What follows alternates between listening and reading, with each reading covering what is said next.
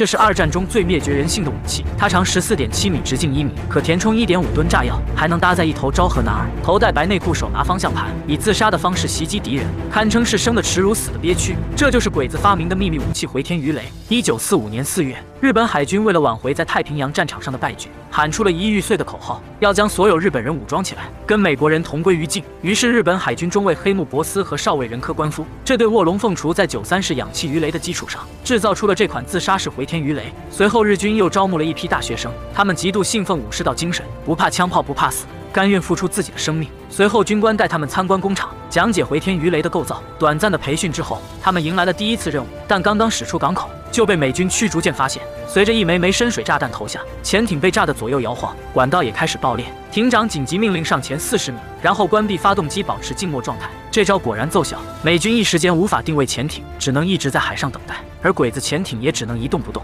随着船舱里面的温度快速上升，氧气也越来越稀薄，鬼子开始热得浑身冒汗，部分鬼子甚至已经脱力晕厥。在等待了五个小时之后，鬼子兵通过潜望镜发现美军驱逐舰终于离开，艇长连忙下令紧急上浮，打开舱门呼吸新鲜空气。随后，鬼子通过检查发现，潜艇携带的四枚回天鱼雷有一枚被深水炸弹摧毁，这可把小鬼子心疼坏了。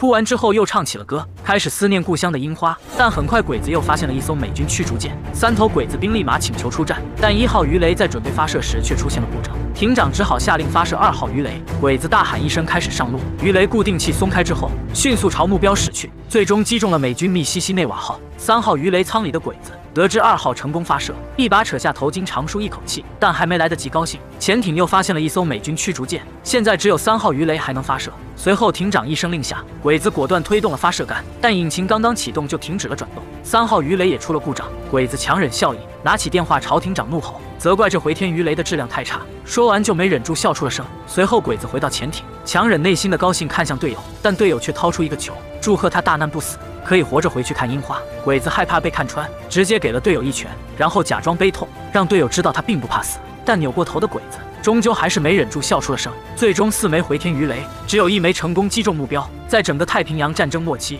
回天鱼雷也仅仅只生产了四百二十枚，而真正被用于实战的也仅有四十枚，取得的战果只有个位数，造成大约一百九十名美军死亡，但日军却损失了一百多名鱼雷驾驶员，这让回天鱼雷彻底成为了笑话。